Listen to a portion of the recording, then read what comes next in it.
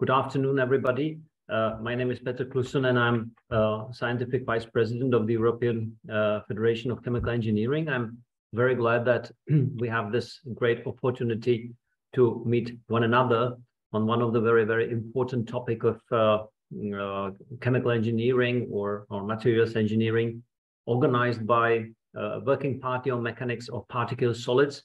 And I'm glad that I may welcome here Diego Barletta, uh, who is Diego is uh, a chair of this working party, and we have a special topic today, characterization and modeling of particulate solids flow for industrial processes. Diego will talk about uh, the working party and about the meeting today uh, in more details in, in a couple of minutes. Uh, I'd like to express my thanks to all of you who registered because that's important, uh, having the audience. I'd like to express my thanks to, to Diego and to both our speakers, and also to Professor Martin Poux from University of Toulouse, who is uh, uh, who is a, a, director of the Secretariat of uh, Scientific Secretariat of EFCE. Maybe Martin, I'd like to ask you now for uh, uh, just uh, the slide. I, I'd like to take the opportunity to invite you to another event which is organized by European Federation of Chemical Engineering, in basically two weeks time in the beginning of uh, December, 5th of December, we are opening uh, or we are starting activities of a completely new section of uh, EFCE, which is called Chemical Engineering as Applied to Medicine.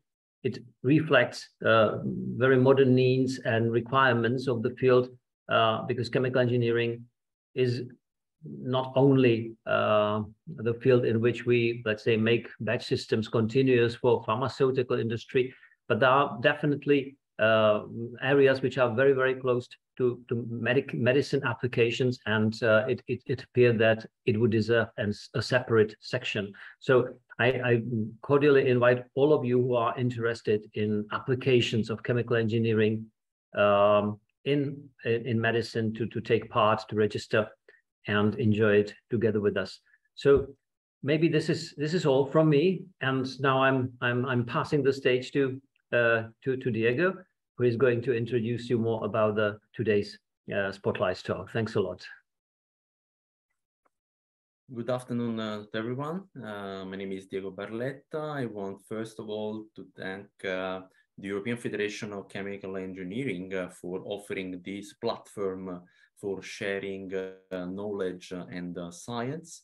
And uh, especially want to thank Professor Kluson and Professor Poux for the organization of this series. Uh, just let me say a few words about the Working Party on Mechanics of Particulate Solids that uh, today I have the privilege to represent. The aim uh, of this Working Party is one of the scientific group of the European Federation is to promote uh, science, education, and technology transfer in the subject area of batch solids handling uh, and uh, transportation. The scientific group is formed by um, university scholars and industrial practitioners active in the field, uh, in especially in Europe, uh, but is also open to the guest participation of non-European uh, guests. So uh, the, the activities of the group are somehow reported in uh, the website that you can uh, eventually visit that is accessible from the uh, web page of the European Federation of Chemical Engineering, uh, in which we will see some of uh, our activities. But let me focus the attention uh, Uh, on the program uh, we have today. So basically we will have two lectures. Uh, the first uh, will be on characterization methods of uh, powder flowability and will be delivered by Professor Massimo Poletto from University of Salerno. And the second will be on DEM modeling particulate solid processes from model conceptualization to industrial application by Professor Jin Ooi from University of Edinburgh. Uh, just let me say that, uh, of course, there will be a way to uh, somehow interact at the end of the presentation. Uh, during the presentation and immediately after, you can pose your question in the question and answer section session uh, in the in the chat, uh, and I will convey your question at the end to to the speaker.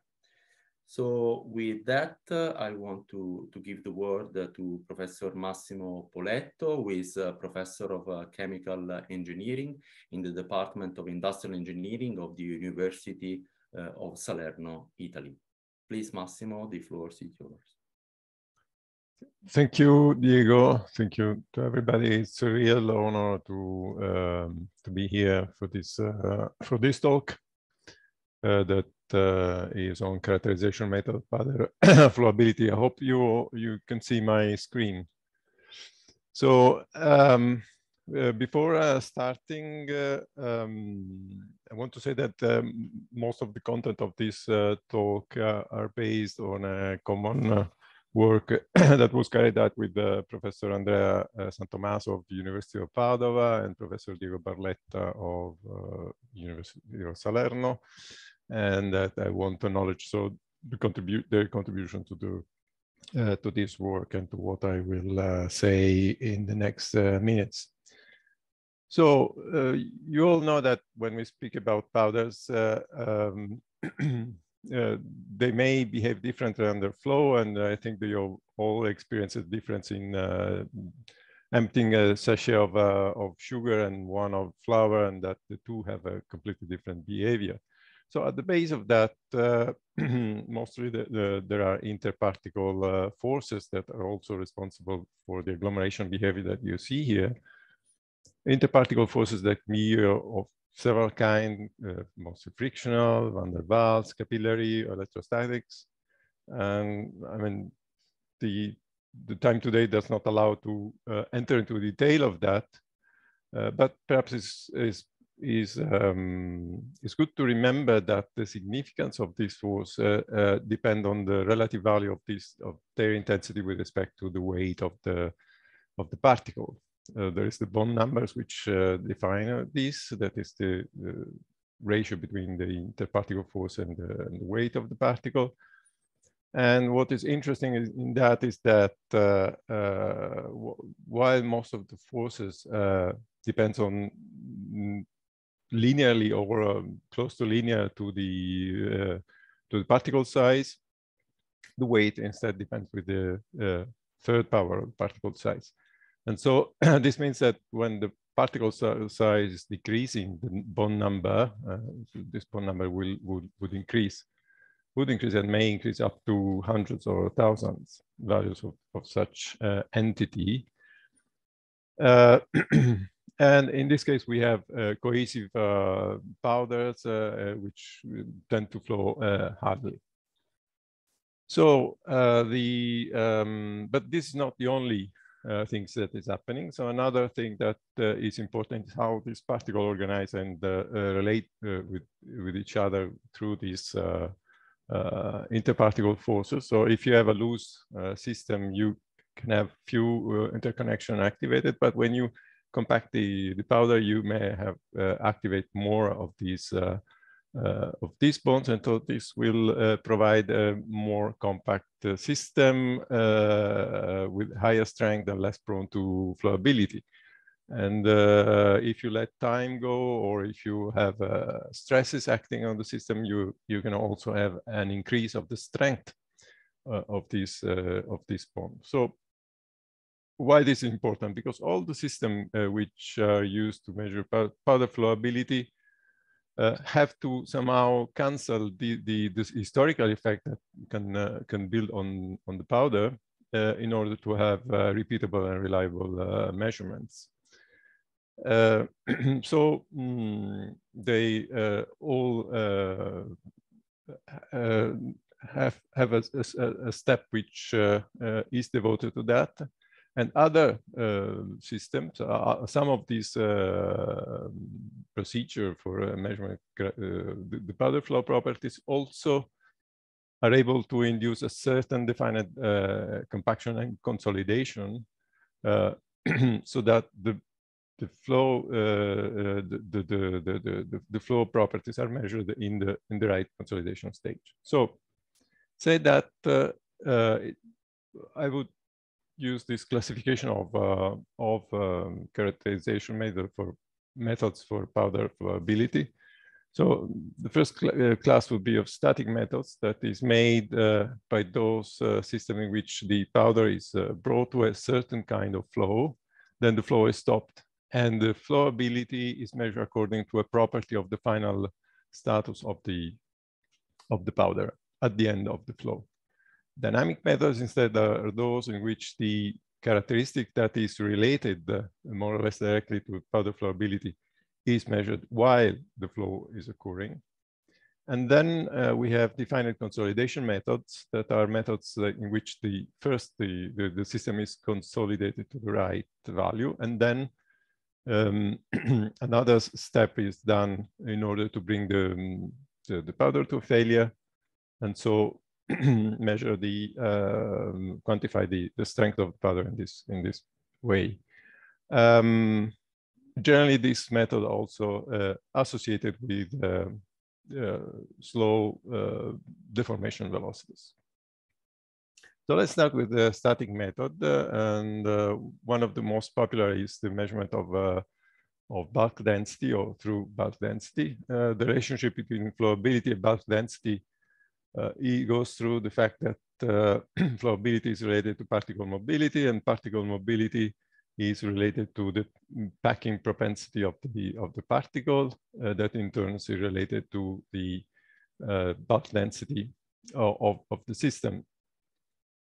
So the idea behind this uh, this method is that if you uh, generate or pour the pour the powder uh, uh, in a container, the first density will be a loose density or if there are interparticle forces, you will have a loose density which is um, affected by the interparticle forces.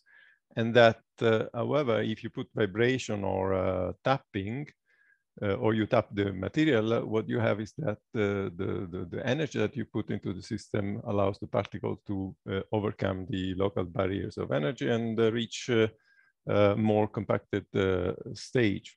So in the end, uh, the variation of density between the initial stage to the final is an indication of the powder flowability. So there are several indexes which use the uh, pore density and the tapped density, like the Hausner ratio that you see, the compressibility index, or the Carr index. All depends on this couple of, uh, of densities, and all are um, uh, organized such that uh, uh, an increase of the value would uh, correspond to a decrease of the powder flowability. So in order to estimate any of these index, uh, uh, it is necessary to have a, a, way, a repeatable way to measure the, uh, the pore density and the tapped density. And so the procedure generally adopt strategies so that the final value of the density that is generated is less dependent on as possible on the initial stage the state status of the powder and also on the hands of the uh, operator. So for example, the simplest way is to use a funnel. so the, the powder is flows down into a cap, fills it, and then uh, the cap is of known, known, known volume. You can uh, eliminate the excess powder and based on the on the mass uh, of the powder contained in the cap, you can uh, uh, evaluate the uh, the density. You can change the setup for doing this, but the principle is always the same. And similar is also the procedure for the tapped density. So in this case, however, uh, while tapping, we have to ensure that uh, the, the, the, the, cap will have some other material to be filled. So what is done is to use an extension cap uh, that is uh, filled by the funnel. Then you have tapping. And at the end of the tapping, you remove the extension, you remove the excess of powder, and again, you have um, a fixed volume and you have to measure only the mass of it. Of course, there is an alternative to this and to use a, single uh, graduated cylinder like this, which has the great advantage of uh, using one one parameter, one only container for uh, both poured and uh, and tapped density. Uh, the the problem with the use of graduated cylinder and which uh, in general is uh, should be discouraged is that uh, uh, it's difficult to precisely detect the the, the level of of the material inside the cylinder because of the tendency of powder on this not having a very clear surface. Of course, in order to compare result, you need, as I said, a standardized procedure because there are many parameters that may change. And so several uh, standardized procedures are uh, available for different uh, materials you can see here. Another approach uh, which allows, and, and maybe is uh, more uh, sensitive for intermediate, for on sorry on on on the range on wider range of powder flowability is the angle of repose. The angle of repose would be the angle of the heap uh, that is formed by pouring the powder over a table. And uh,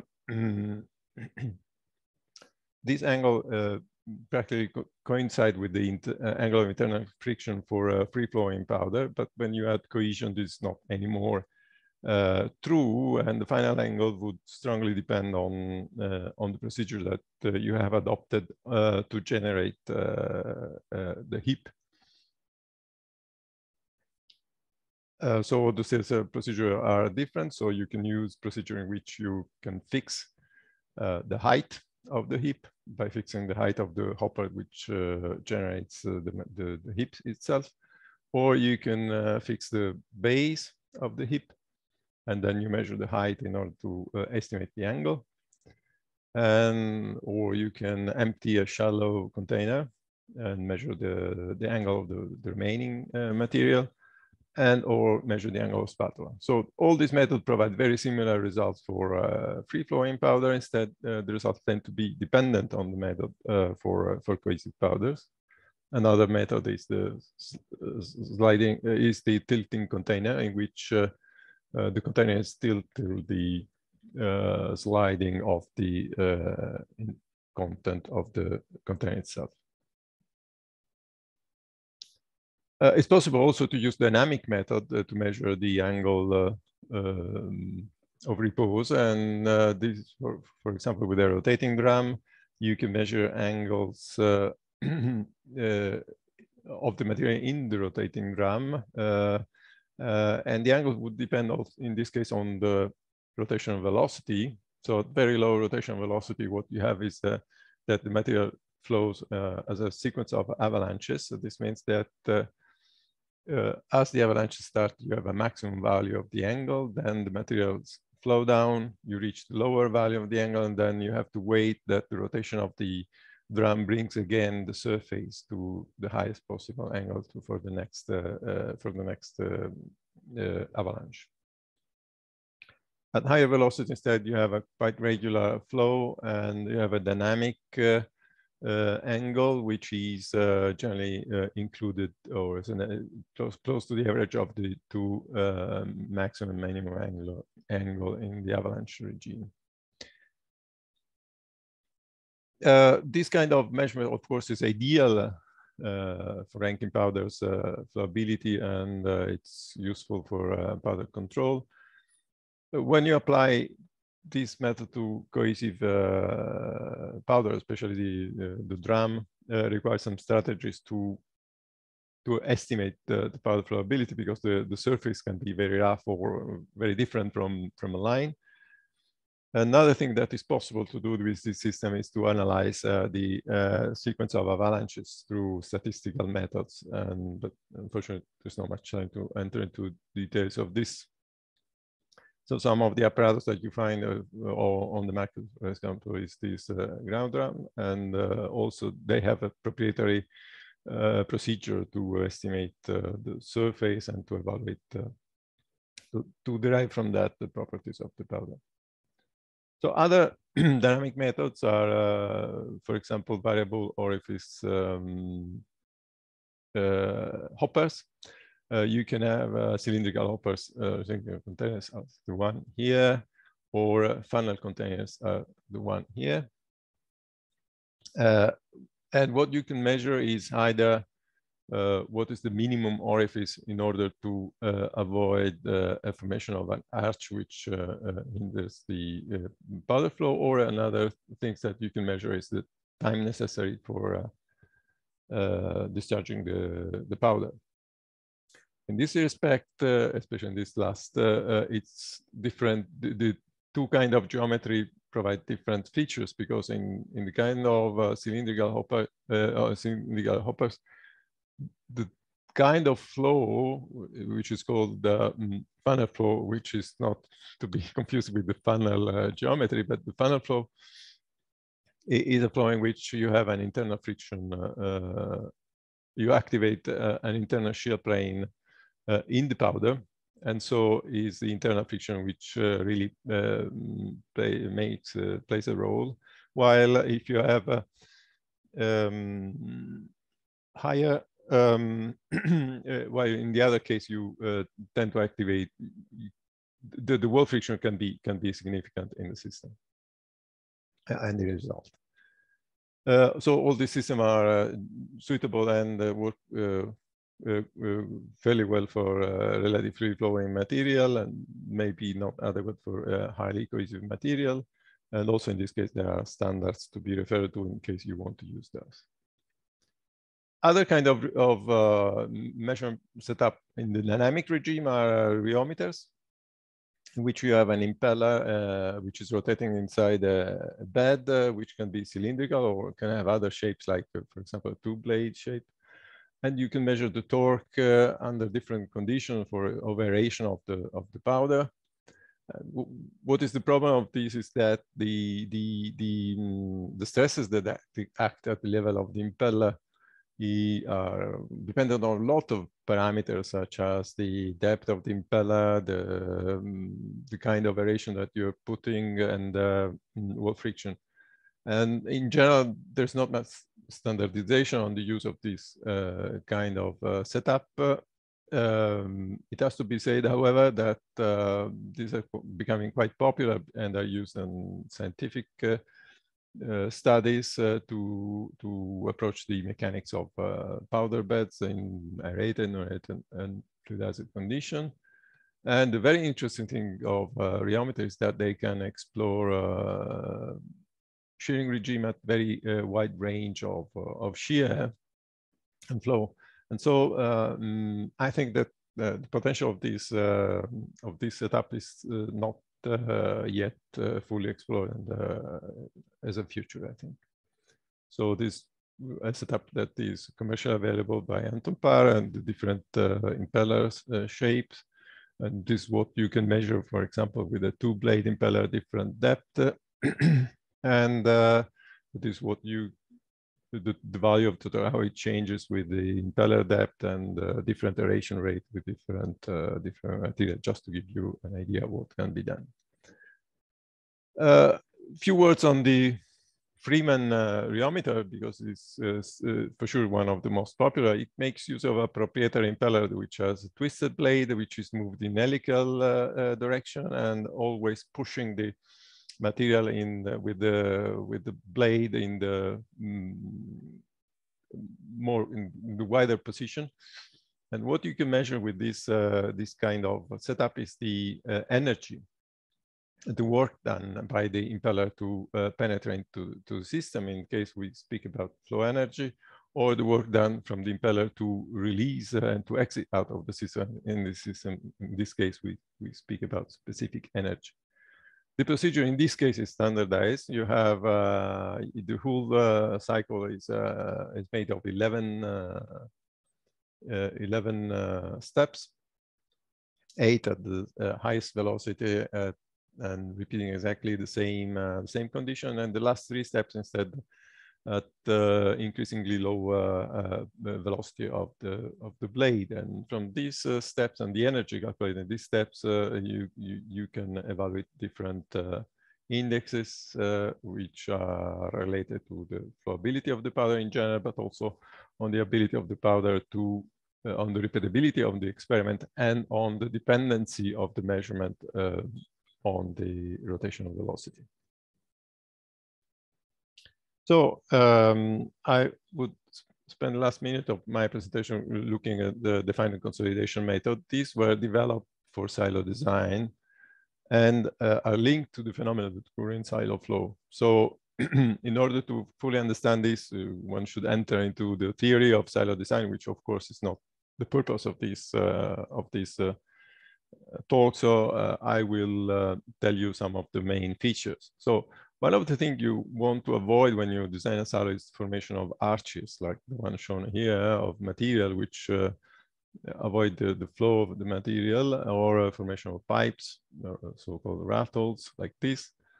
And what is common between pipes and is the formation of a free surface of some material in which the strength of material is high enough to resist to the tendency of the powder to flow out of, of the system. So uh, from the analysis of the statics of the uh, of the arch, uh, it comes out that the arch is stable when the strength of the material is larger than these forces acting on the arch uh, um, are lower than this strength. So uh, in principle, this uh, this parameter can be uh, calculated with a uniaxial testing procedure in which you, for example, confine the material into a container, you compress it, then you uh, take out the walls of the container and you compress it again uh, till breakage. So the by plotting the, it's possible to plot the unconfined yield strength, so the, the, the sigma c that you obtained from the second experiment uh, as a function of the compression uh, stress, and you obtain the flow function. And the flow function and this the, the is at the base of the measurement of the estimation of powder flowability according to Jenike. Actually, what the Jenike is to introduce the flow factor, which is the ratio between the consolidation stress and the strength of the material. So uh, it's uh, the inverse of the slope of a line uh, which is uh, passes through the origin of the FC versus sigma one plane represented here.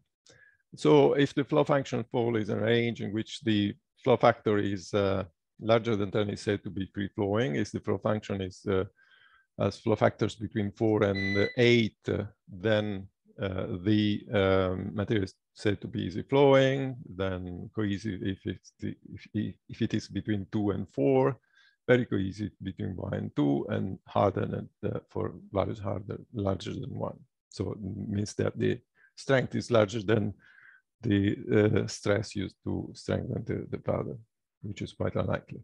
But uh, mm, one important thing I have to say here is that the procedure to calculate the strength of the powder and the, the flow function, all the procedure, whatever you use, are independent of, of gravity.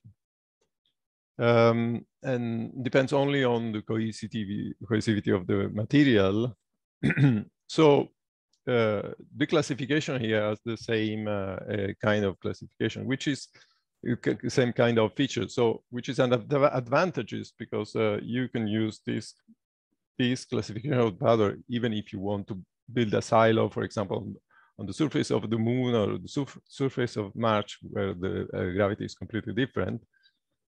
But as disadvantage that does not allow to uh, to compare powder in their behavior uh, in, uh, for example, in, in flow in silos, existing silos uh, under the action of gravity alone, because what is missing is the um, information regarding density. So you can have two powders which have exactly the same uh, flow function, but uh, if one is lighter than the other, it will flow much more, uh, more with much more difficulty out of, of a hopper than, uh, than the first one. And so you, it's better in this case if you want to have indication on the propensity of flow uh, in under gravity to use other parameter than the classification of Jenike, like uh, for example, the opening of a silo, uh, the critical opening of a silo, which is derived from the Jenike theory. So these are some example of measurement of uh, uniaxial shear testing uh, by applying uh, the weight, this is by applying the strain, and as you can see here, the the, the breakage occurs at, at the bottom, and this this is uh, depends from the fact that uh, there is an effect of the walls of the material that can be corrected if you know the flow property of the material, but of course it's not practical if you want to use this uh, parameter, this, this uh, procedure for measuring the flow function. but what it can be done is to develop a system in which the um, the the wall uh, the effect of the wall shear can be uh, can be um, reduced. This is what happens, for example, in this uh, Edinburgh powder flow tester, uh, which has movable uh, walls. And so this uh, allow to reduce the uh, contribution and the reduction of the stress in, in the depth of the bed with the in the compression stage of the of the mold. So uh, the other way to uh, produce the, the, the, flow function is uh, by means of uh, direct shear tester. The, so the, ancestor of the shear tester is the Jenike shear tester, which is made like this by a cap, a ring, and the lead. Uh, the material is, is, put inside the, the system. Uh, the lead is used to apply a certain normal load to the powder and realize a certain normal stress on the plane uh, that is the shearing plane between the ring and the, and the cap. And the ring is moved in order to uh, uh, impress a, a, certain shear movement to the, to the system. So the procedure is made of, as, as always, of two steps. We have a consolidation step in which uh, you apply a normal stress and you shear the powder till uh, the value of the uh, shear stress is constant, uh, and this is useful because it ensures a univocal relationship between the normal stress applied and the kind of consolidation that is, has been reached by the powder. And then after the, that is done, you release, you lower uh, the normal stress and you measure uh, the value of the tangential stress that is necessary uh, to uh, bring to failure the, the system. And this provides a value of the yield.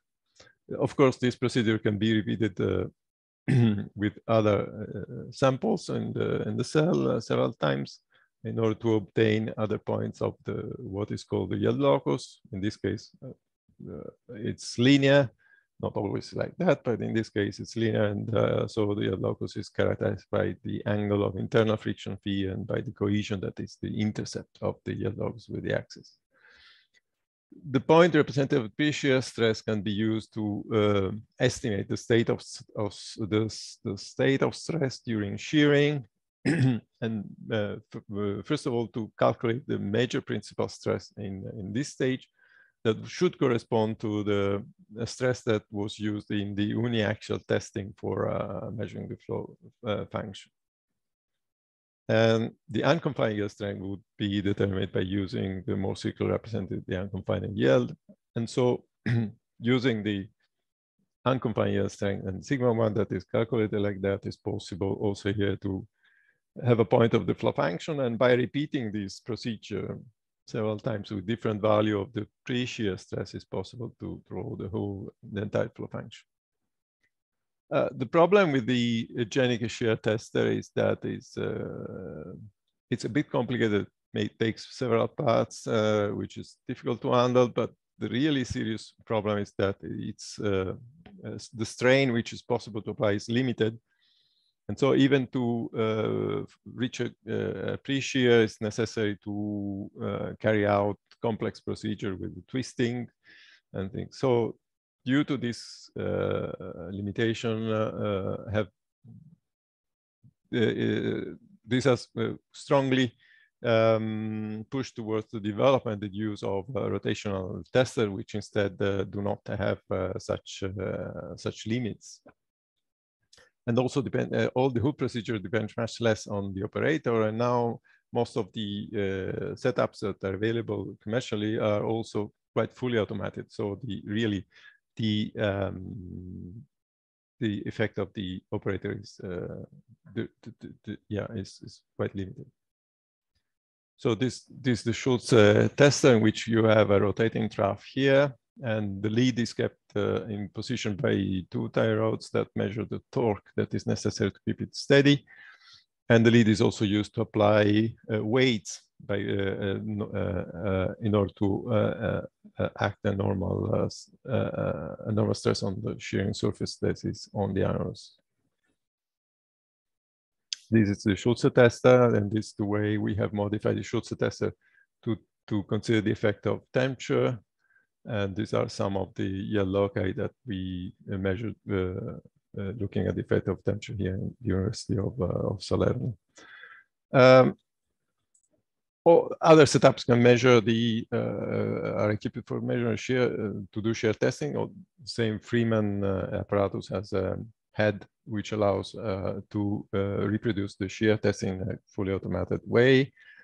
Uh, there is the Brookfield shear tester, which is also very, very fr friendly in the use, which um, can be used, and also this rheometer. And also we have the uh, Anton Paar shear set. It also the um, the Owen to measure the um, uh, the shear properties at uh, control temperature and humidity. I have to say that all uh, uh, rheometer-based um, shear tester with respect to the Schulze have the difference that uh, do not apply the normal load uh, by means of applying a force, but they adjust the force by regulating the position of the uh, of the lead. So these are some some flow functions that we, we on the uh, Anton shear test at different temperature.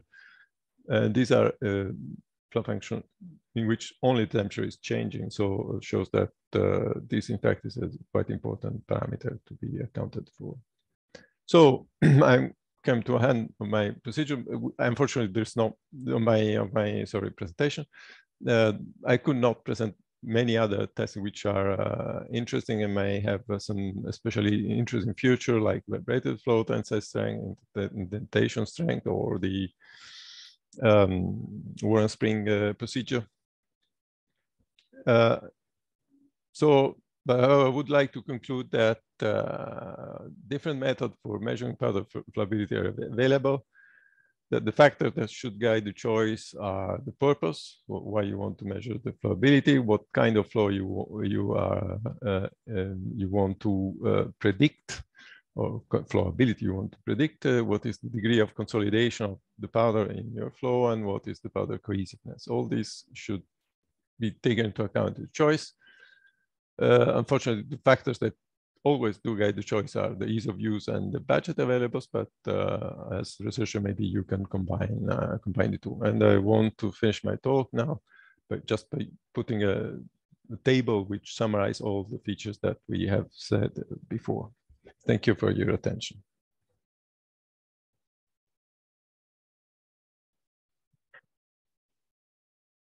Thank you very much, uh, Massimo, for uh, this uh, comprehensive uh, review of the methods. Uh, I just want to uh, remind the audience that it is possible to ask a question by typing them, and I will later pose to the to the to the speaker. For the time being, it seems that we have okay. We have we have we have a first uh, question that I will ask uh, Massimo uh, is, do methods exist to predict the flowability of mixture only by measured data of single mixture components?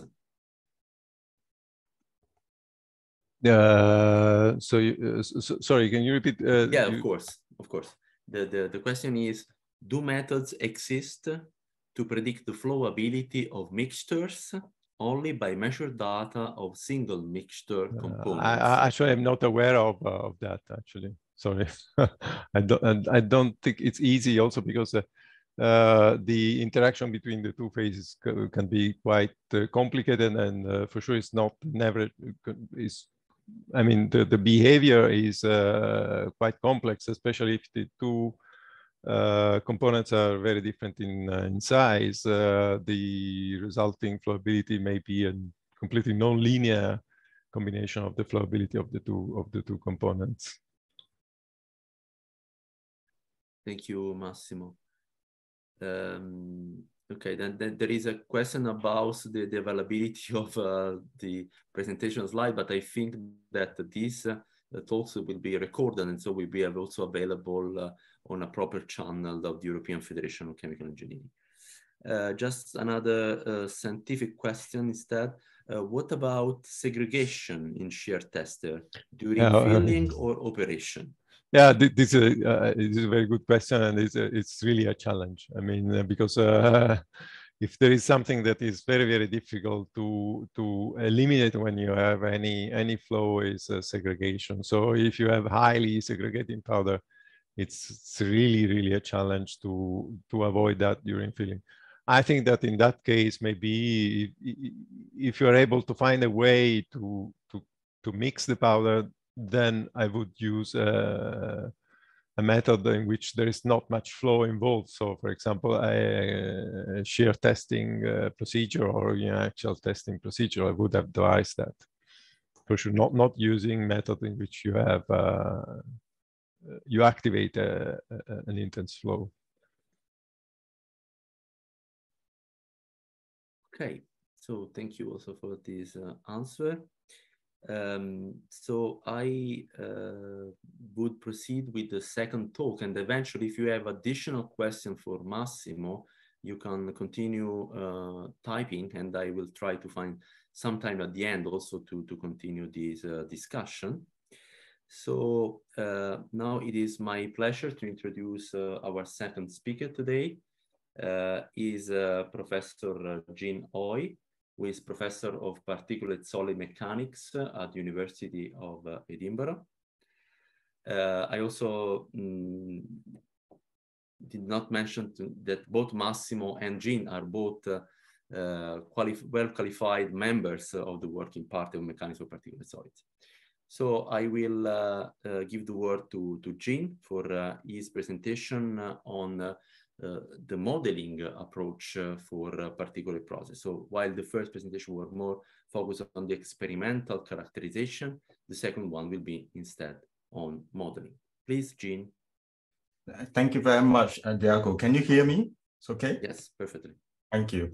So may I start by, uh, first of all, thanking um, European Federation and Chemical Engineers colleagues for the invitation and the opportunity to, to uh, to uh, for this talk and to uh, Professor Diego Barletta, the chairman of our working party, uh, for proposing this uh, this talk on the characterization and modeling of particulate solids for industrial processes.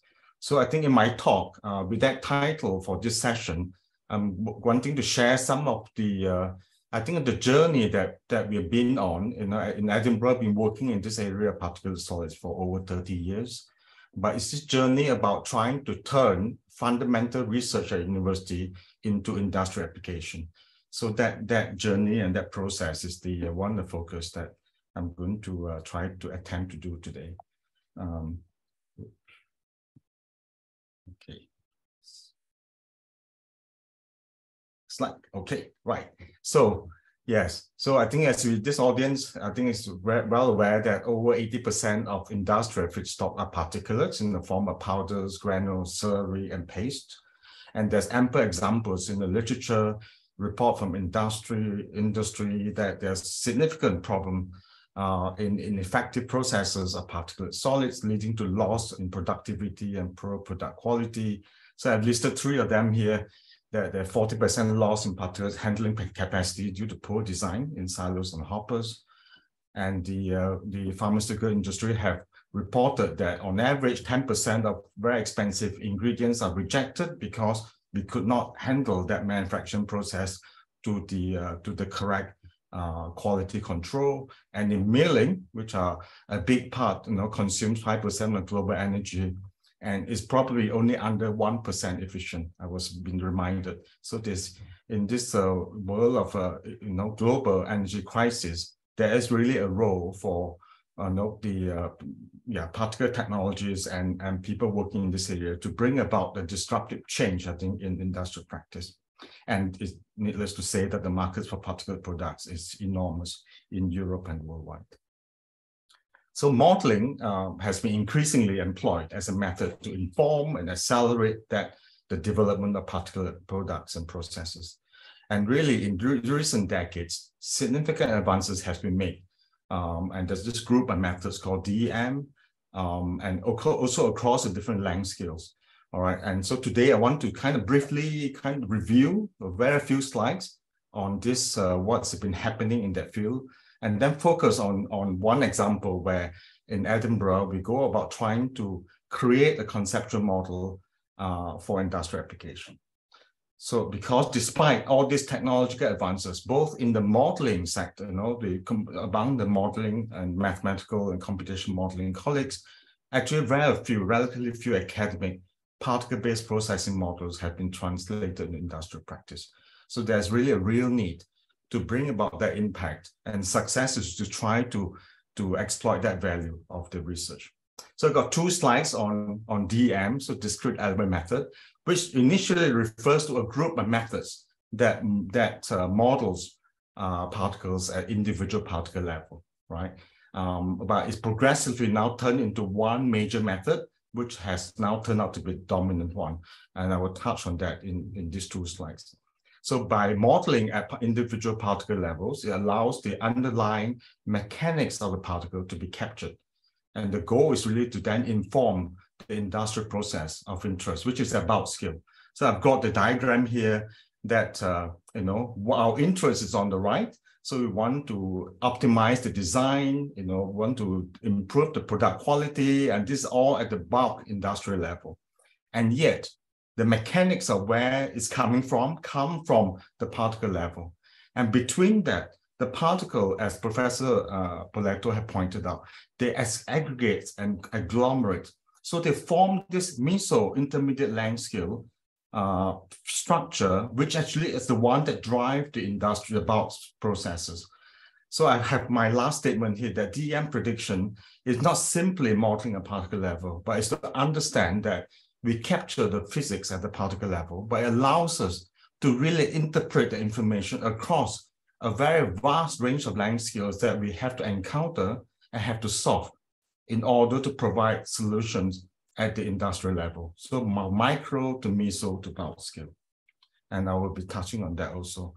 Uh, so I think those understanding over the last few decades has been very instrumental, I think, in that this is no longer a scientific tool. Uh, it should be uh, something that that we should encourage industry to take on seriously as a way of addressing innovation needs in the industry. So I've said just now that DEM, you know, is modeling uh, particle level motion, solve simple equations of motion at uh, contact level. But uh, with the recent advances, you can use it for more, you know, looking at breakage, adhesion, and liquid effects, and so on. So the first, probably the most cited paper with over 11,000 citation is the paper of Cundall and Strack in Geotechnique in 1979. And basically, if two particles come into contact, then we have, of course, contact stiffness for calculating the force. And then we have some kind of friction to account for part friction. And then we have some kind of dashpot for dissipation through coefficient restitution. So that gives us the classical DEM model for a cohesionless solid right, with a stiffness, friction, and restitution for energy dissipation.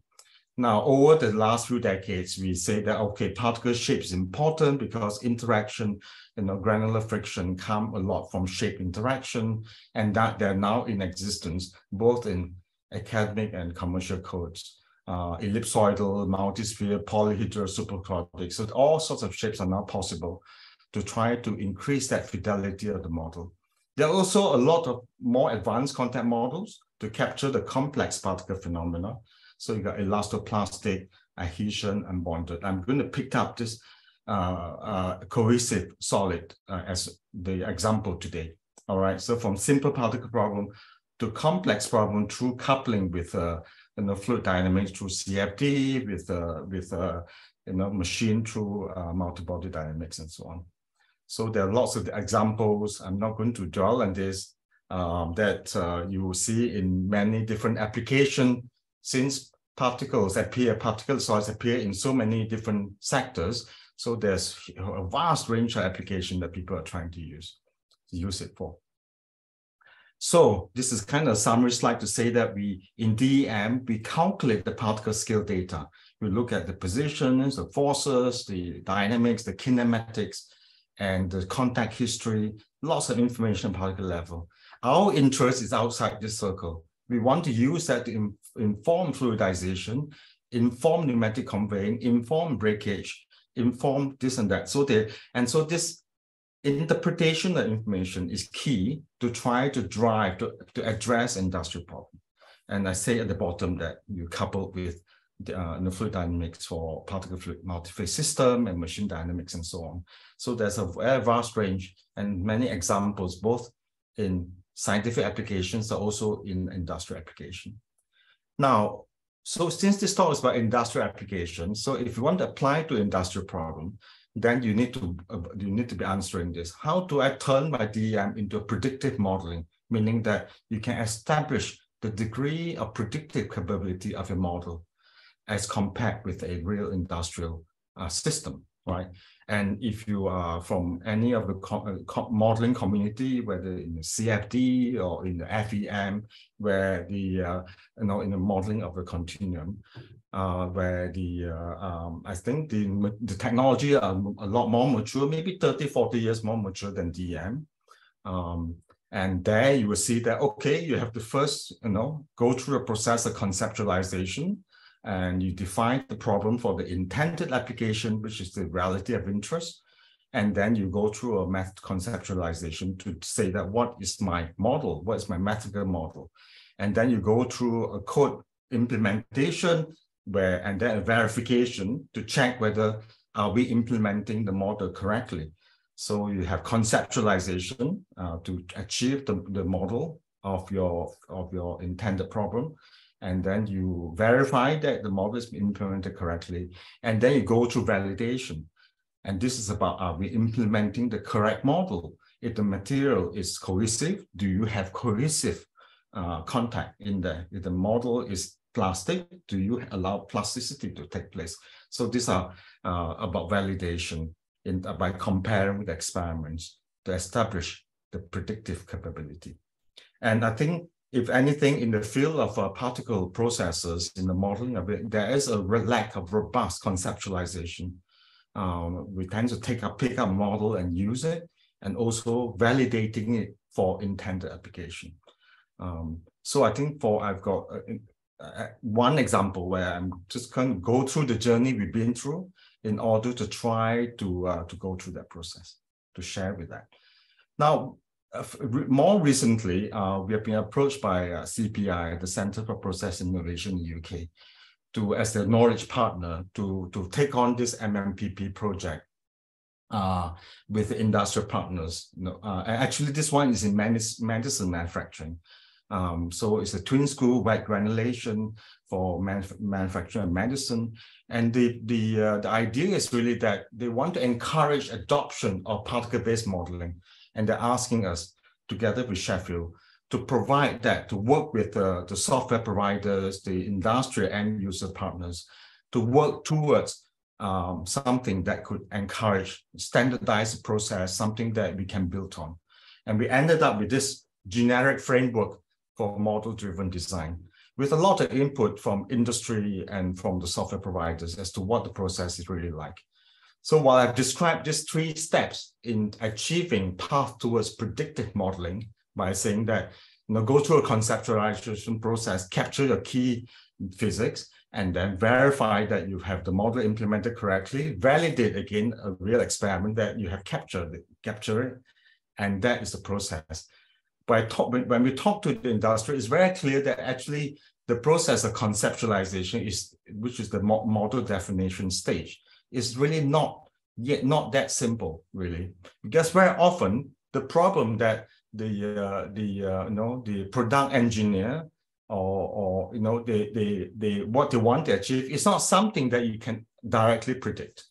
All right, so so there's a step just before conceptualization, which is a, a, very complicated plot here. But um, so I'm not not don't have time to go into detail. So my intention is not go into a lot of detail, but just to point out the different phases of going through it. So the first phase is really about, about linking your target product quality into what the CQAs, you know, the, the quality, the critical attributes that you can predict and understanding that what your model is predicting actually have a very clear path towards delivering a certain, a certain target profile that you're trying to achieve.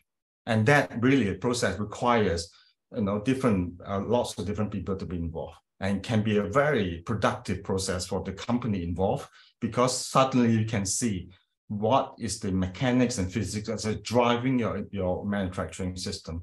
And you can then see that there is a way of predicting it that can provide that more, uh, more um, um, that that uh, to, that address the problem that you might be facing. So there's a so there's three stages here to summarize a model uh, definition stage, and then the model def, uh, uh, verification stage, and then following eventually by doing the modeling and the validation on the per product basis.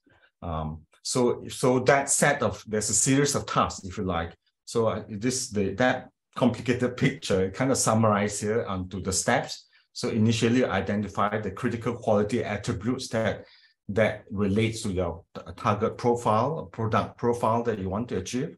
And you, you, you kind of go through that. And then you ask the question, is the optical particle model for a process, has it been identified? And that's conceptualization. Is it feasible?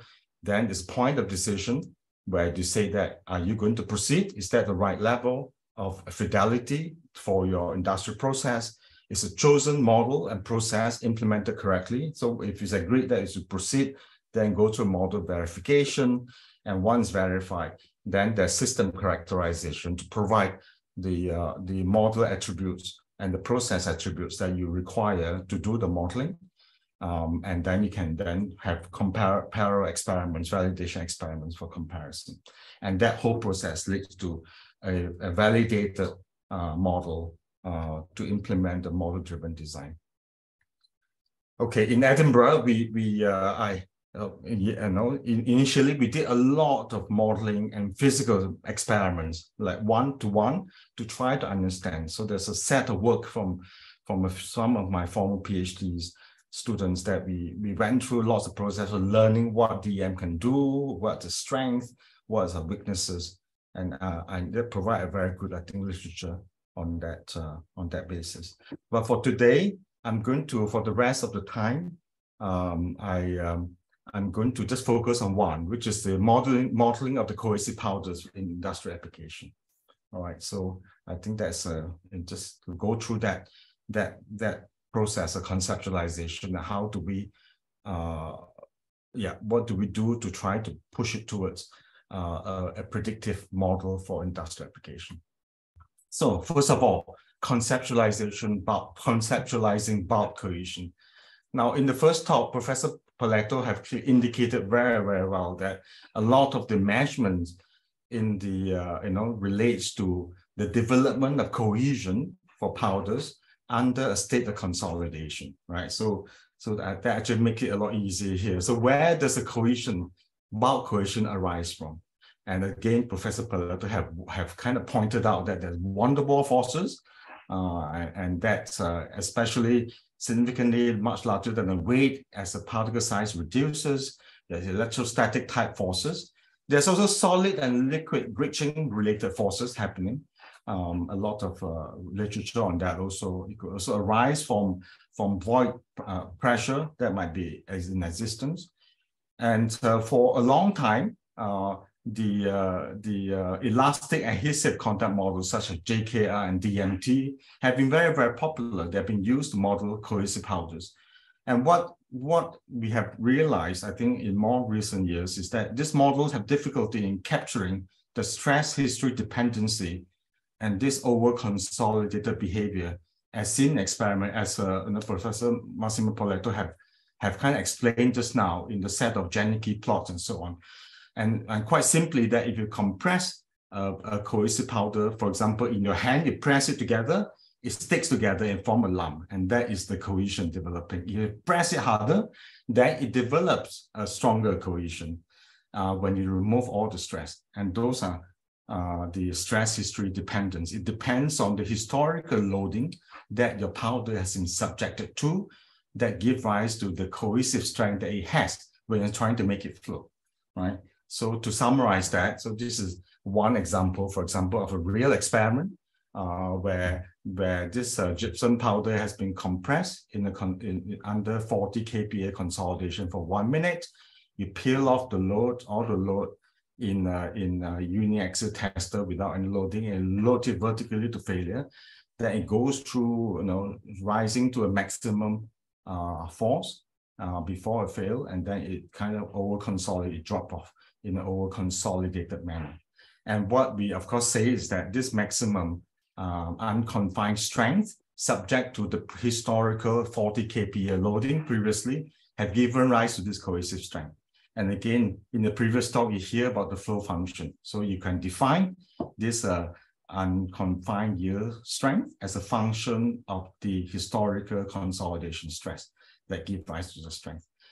Now, it's clear that if the DEM is model is going to be doing, capturing, uh, you know, going to be useful for industrial processes, it must reproduce this because in many of the industrial processes, we subject our material to a, a, set of loading. So in silos, in, in mixer, you place the material in there and material is placed under its own weight and it consolidates.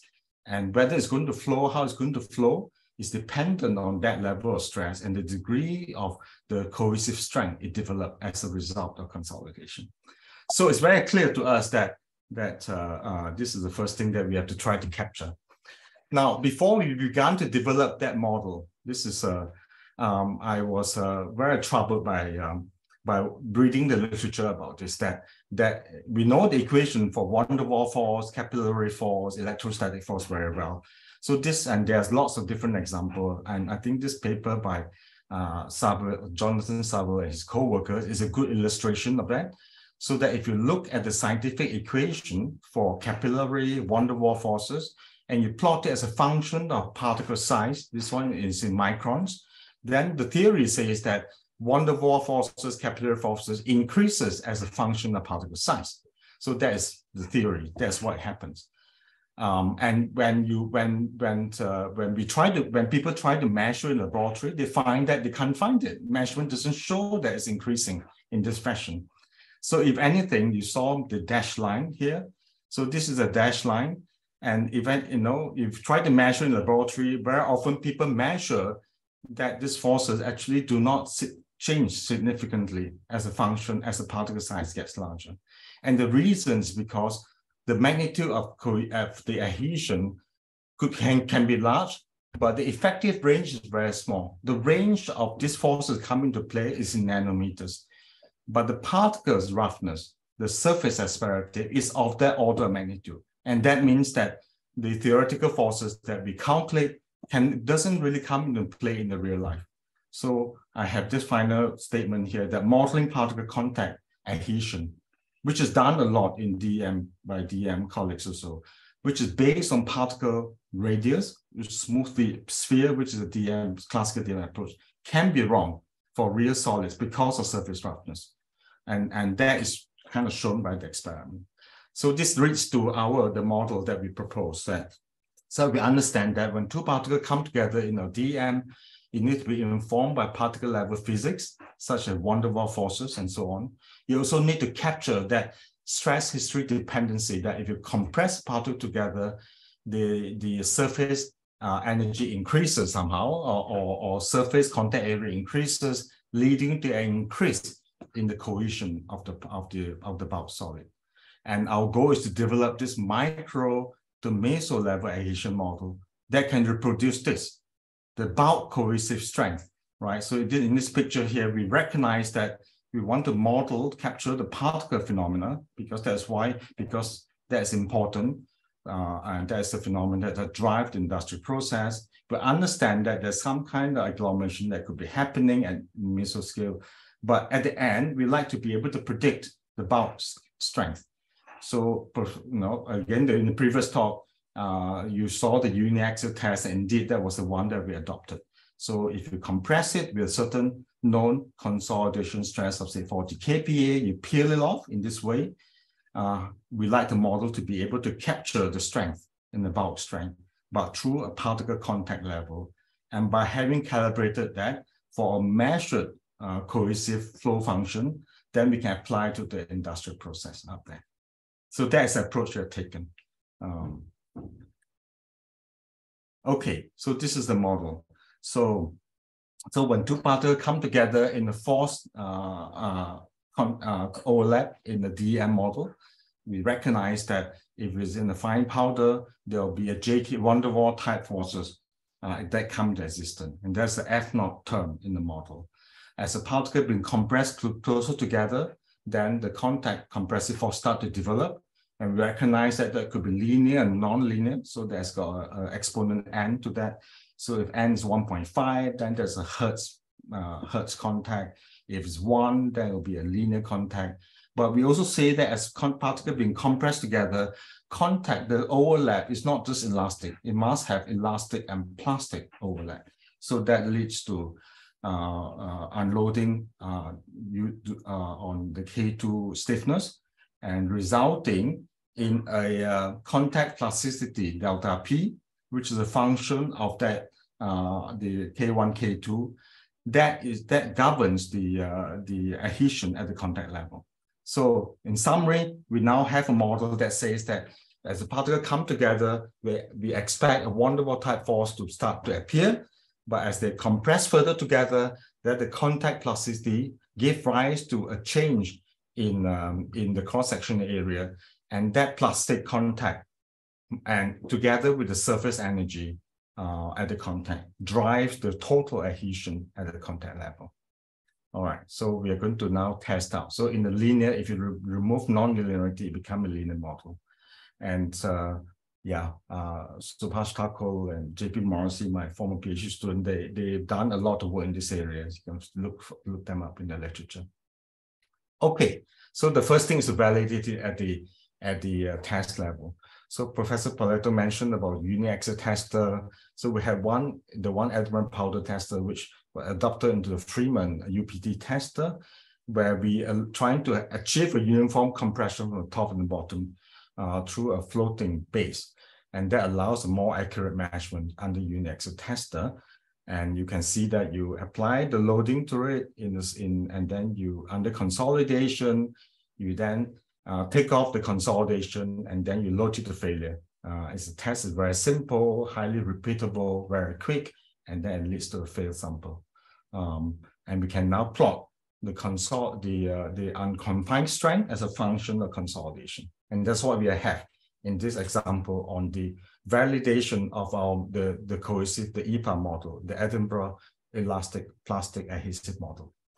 Okay, so you apply different loading, so to 20 kPa, and that give rise to a uh, um, the unconfined yield strength, the peak of the loading curve as a function of the consolidation pressure, and that gives us our flow function, as uh, Professor Poletto had pointed out. Um, and this one actually is in a, a, a project uh, sponsored by uh, LKAB in Sweden. So it's on the iron ore fines.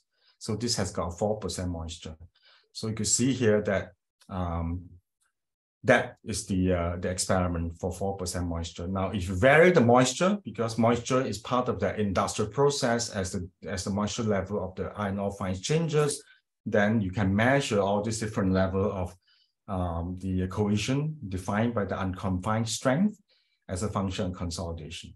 So the challenge for the model is whether can it predict this uh, by simply using uh, surface energy, right? So this is our model, our, our attempt at checking that the model is working.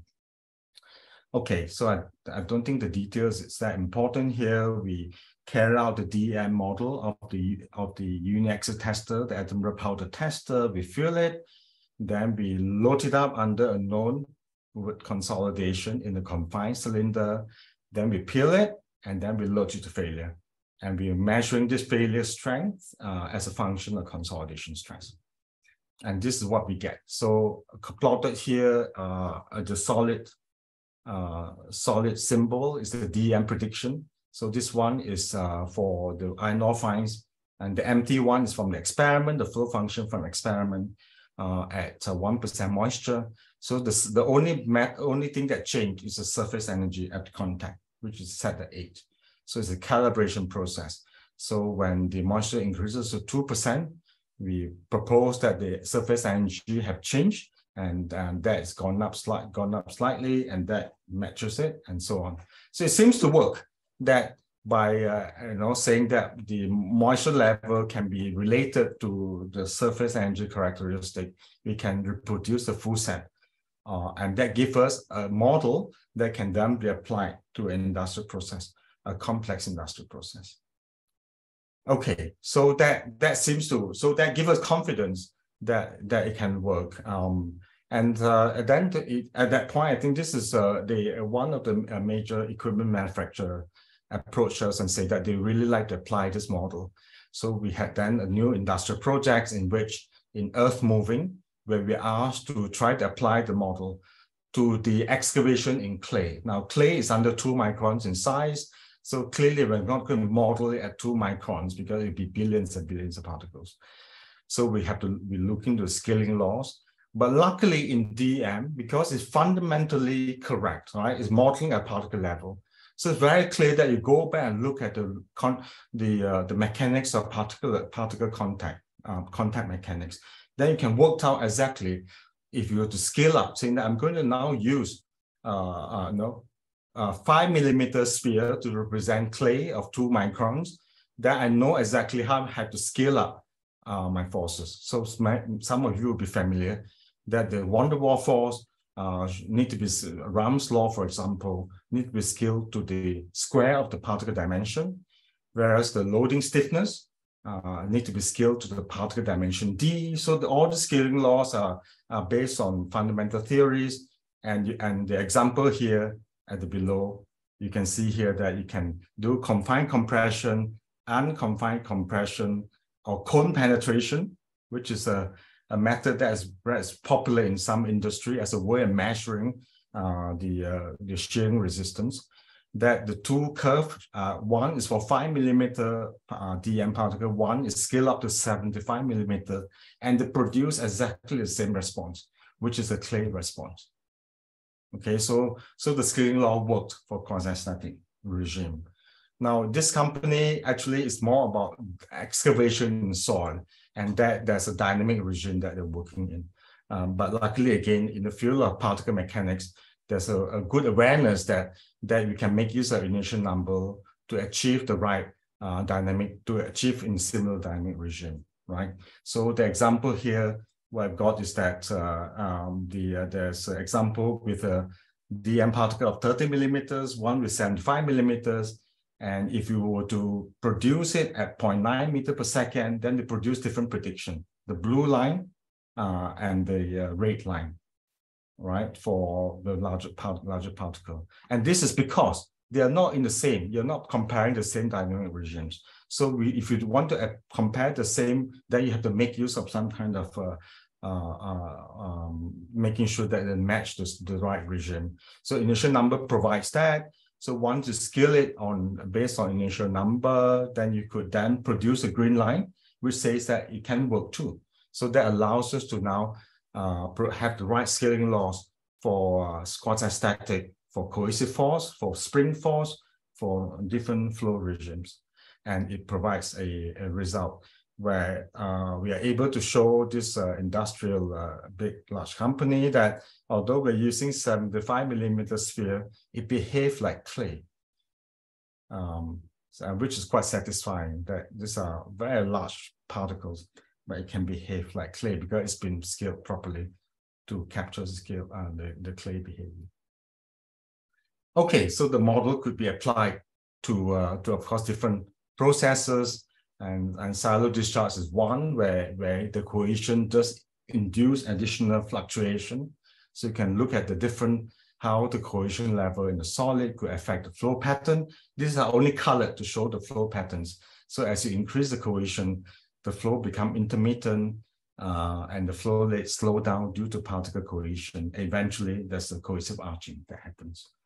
Um, and what's even more interesting is that uh, um, that if you were to uh, to to turn the particle information, um, so I'm going to pause it into what we are more interested in. So in silo, for example, so what I've got shown here, I'm just taking the particle, uh, you know, particle position, velocity, particle contact forces, and calculate the solid fraction, the porosity, the uh, velocity, the stress that appear, and it, both in the horizontal, the x-axis direction, and the vertical direction. And you can see here that that this is where well, I was you know saying just now that the importance of doing DM simulation is to understand that that while the uh, phenomenon is driven at particle level, what we're interested in, what is really important for industry are the bulk level phenomena. And you can see here, it's very, very exciting that from the DM simulation, you can capture this increase in horizontal stress, for example, which we have measured in experiment, right? That uh, there's uh, that as opener outlet, there's this fluctuation of the uh, uh, of the discharge pressure with the horizontal wall pressure going through fluctuation, and the DM can very easily um, showing that that is actually larger than during the filling state. So you could see on this uh, horizontal stress, there's this intermittent arching giving rise to larger stresses where the transition is just above the, trans the, the internal Hopper transition. So lots of very relevant phenomena uh, providing very useful insight to the uh, using DM and then understanding that that uh, you really need to be working out what happened at the bulk level also. But these are information from DM. Okay, so that brings me to uh, uh, just a conclusion to say that uh, just to reflect on what I've discussed, that there's a critical first step often when trying to apply uh, modeling to industrial problem is to define the problem and coming up for a fit for purpose conceptual model and, and for the key underlying mechanics. And this is best achieved with collaborative effort from product design team, process operational team, the modeling team involving, you know, and those experts in the and particulate mechanics. Really, it's, a, it's very much a joint effort. I've learned a great deal by working on uh, in a collaborative project with industrial partners that, that uh, this process iteration is a very important one. And there's therefore great opportunities, I think, for collaboration through research to achieve that. Uh, validation, my second reflection is that it's really needed to establish the predictive capability of DEM.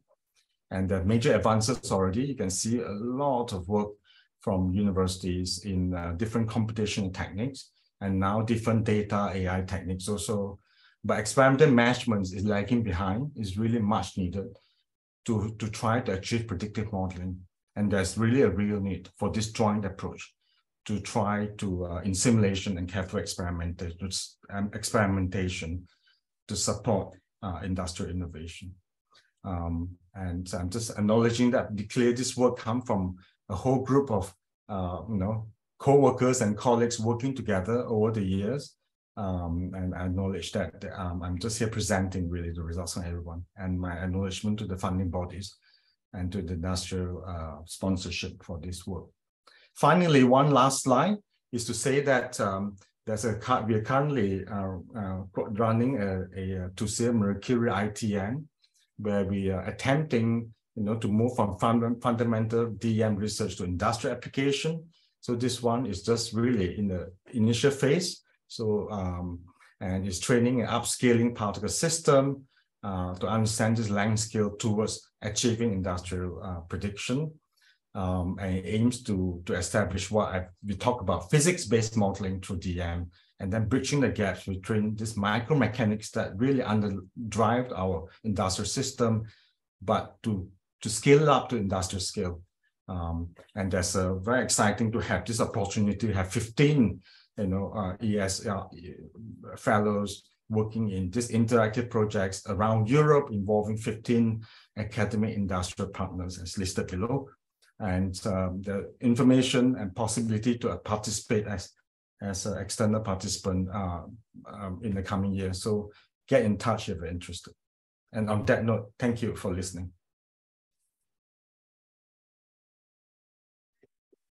Thank you very much, Jin, for this uh, wide overview on these uh, powerful modeling methods. And of course, uh, uh, as always, the challenges uh, are very interesting for the future development of uh, research. And so now we have time for some questions. We have one question already. the others could type it in the meanwhile. is as follow. Uh, CFD is many years ahead of DM. how many years do you think it will, will take until DM is used as often and as effectively in industry as CFD? Yeah, I I I remember that that years ago, you know, uh, we were asking that sort of questions, and we were and and and I suppose one of the questions is really that how far behind is uh, is DM compared with CFD, for example, which is now by now well established and used not just for scientific but a lot for also for industrial type application, and we worked out that it's probably 30, 40 years, uh, and uh, yeah, so we could see here that you compared with that like time scale. Um, but I think I think it depends on, but research is accelerating. That's what I really want to say here. That I think this uh, that compared with the way that we work, and uh, for example, under um, um, the you know Horizon Europe initiative, which is a huge big program, it allows a lot of potential interaction, plays such a key role. So a lot of what we have achieved and you could see here in Edinburgh in our group, we have benefited a lot. I'm extremely grateful for all this European collaboration and to and it really have drive the agenda. So although, so to answer the question, although is I say that in terms of the time as to when it appears 30 years behind, but the acceleration, and for example, the uh, the initiative under you know uh, Horizon 2020 and now Horizon Europe has really played a major role that allows us to accelerate. So a lot of the discovery, and I think European research have really played a major role in pushing that, accelerating that front. So I'm optimistic. I'm, I'm optimistic in terms of what we can do by working together. Thank you very much, Jin, for this uh, positive uh, outlook. We need this, of course. And I don't know if there are any other question. Now we we don't. So just take the opportunity to ask the question to the speaker now if uh, if you want. Um,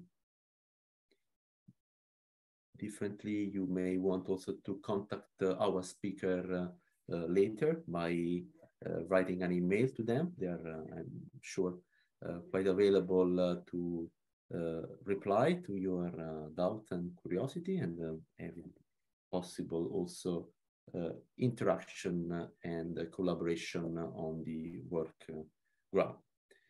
So with um, with this, I want to uh, thank again uh, uh, Massimo and Jin for these uh, fascinating uh, uh, lectures on two different sides of the same subject that are perfectly complementary.